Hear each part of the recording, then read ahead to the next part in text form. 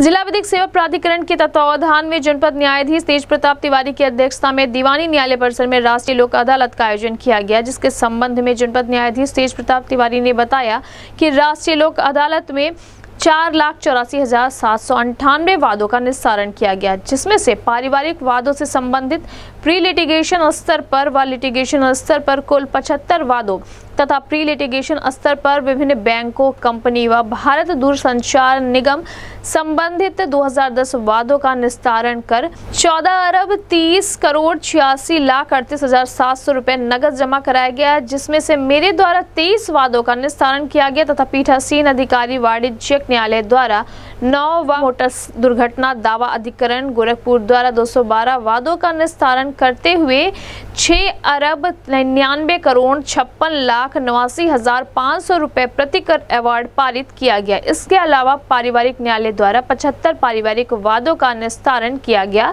सभी न्यायालयों द्वारा तीस सौ निन्यानवे आपराधिक मामलों का निस्तारण किया गया, जिसमें से एक अरब तिरानवे करोड़ छह लाख तैतीस हज़ार दो सौ रुपया वसूला गया। राजस्व व अन्य विभागों द्वारा चार लाख इक्यावन हज़ार पाँच सौ इक्यानवे प्री लिटिगेशन वादों का निस्तारण किया गया। उन्होंने बताया कि राष्ट्रीय लोक अदालत में पाँच लाख इक्कीस हज़ार पाँच सौ चार मामलों में से चार लाख चौरासी हज़ार सात सौ अंठानवे मामलों का निस्तारण किया गया तथा चौबीस करोड़ उनचास लाख छियालीस हज़ार नौ सौ तीन रुपए जमा करवाए गए। इस संबंध में गोरखपुर न्यूज़ से बात करते हुए जनपद न्यायाधीश तेज प्रताप तिवारी ने कहा।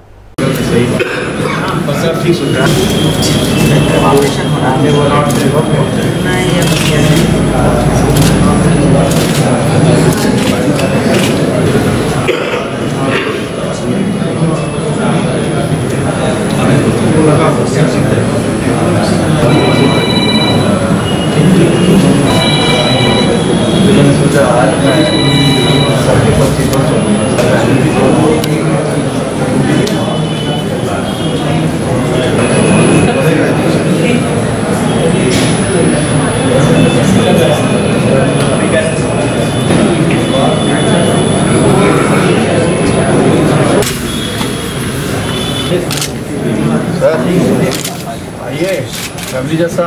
सर बड़े भाई कुछ होता है। और भैया अध्यक्ष जी? सबकी आहुति चाहिए इस यज्ञ में। इसलिए मैं सबको जोड़ता हूँ।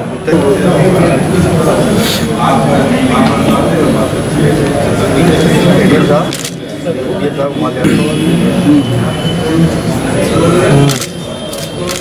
हमारे साथ भी जलाइए अलग अलग भी जलाइए एट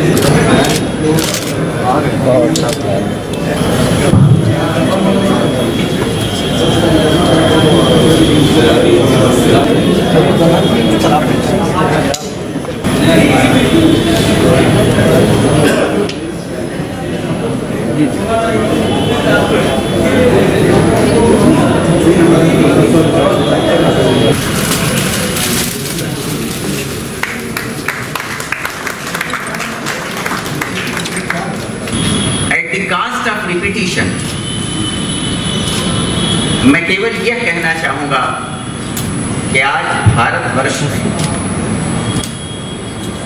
मुकदमों की संख्या, चाहे वो नेशनल जुडिशियल डाटा ग्रिड पर जो मुकदमे दर्ज हैं, उनकी या जो नहीं दर्ज हैं, उनकी भयावह स्थिति है। साढ़े चार करोड़ मुकदमे 31 मई तक नेशनल जुडिशियल डाटा ग्रिड पर थे, जो विगत माह चार दशमलव सात करोड़ हो चुके हैं। यानी 20 लाख मुकदमे तीन चार महीनों में बढ़े। हम पूर्ण प्रयत्न कर रहे हैं।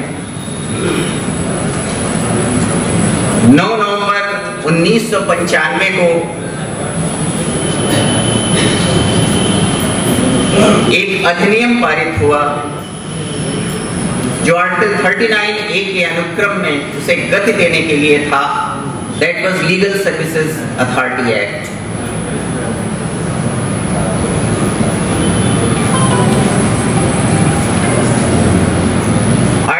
section 22 A का समावेश 2002 में परमानेंट लोक अदालत का समावेशन करके उसमें किया गया। वह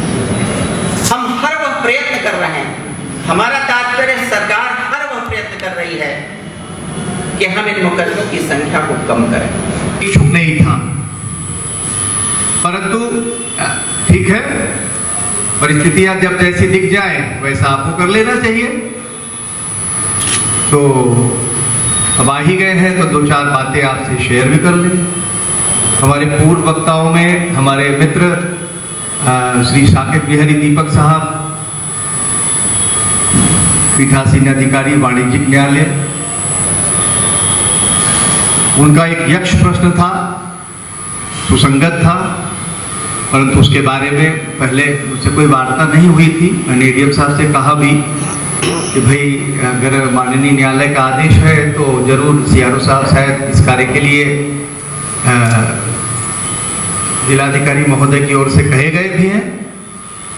तो मैं अपेक्षा करूँगा कि सीआरओ साहब आगे से कोई इस तरह के वो ना हो आपसी सामंजस्य से ही ये लोक अदालत का रथ अपनी मंजिल को प्राप्त करेगा। सबकी आहुति आवश्यक है यज्ञ में। और ज्ञान, विज्ञान, इन सब के पीछे सबसे बड़ी ज़रूरी चीज़ है जो हमारे बड़े भाई श्री पांडे साहब ने कहा, जिनके आशीर्वाद से ईश्वर की वंदना से हम लोग प्रारंभ करते हैं आज के लोक अदालत को। तो उम्मीद है, विश्वास है कि हर बार की भांति अच्छे परिणाम होंगे। बाकी it's time for action now we need to work and will talk some time later on have a nice day wish you all the best good luck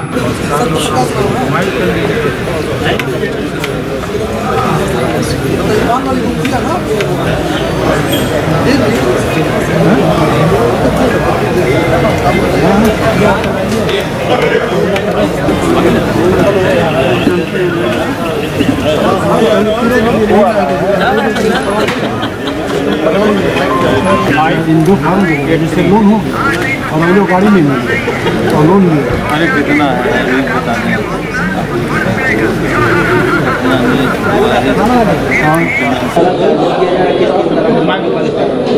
आप जानते ही हैं कि राष्ट्रीय लोक अदालत में ऐसे मामले, जो छोटे मोटे मामले हैं, शमनीय मामले हैं, जो 138 नेगोशिएबल इंस्ट्रूमेंट एक्ट के अंतर्गत है, चेक अनादरण के मामले, और छोटे मोटे आपराधिक और दीवानी सभी मामले इसमें आते हैं। श्रम संबंधित विद्युत संबंधित, अन्य पारिवारिक मामले वाणिज्यिक न्यायालय संबंधित मामले, ऐसे सभी मामले इसमें जो छोटे छोटे हैं, जिनमें पक्ष आपस में बैठ के सुलह समझौते से निस्तारण कर सकते हैं, उसमें बैठते हैं, निस्तारण करते हैं, क्योंकि न्यायालय के सामान्य उसमें बहुत समय लग जाता है। इसलिए हम अपील करेंगे गोरखपुर वासियों से कि आज राष्ट्रीय लोक अदालत का लाभ उठाएँ और अपने छोटे छोटे मामलों को जहाँ भी वो पेंडिंग हो, जहाँ पे वो इसको दाखिल किए हों, वहाँ अप्रोच करके अपना प्रार्थना पत्र दे करके निस्तारित कराएँ।